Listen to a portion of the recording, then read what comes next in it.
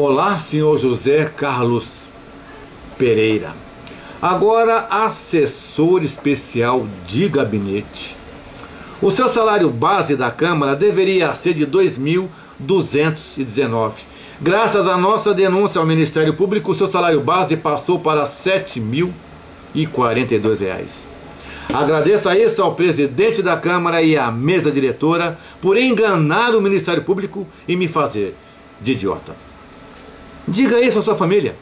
Tem coragem? Eu acredito que não. Mas eles vão ficar sabendo.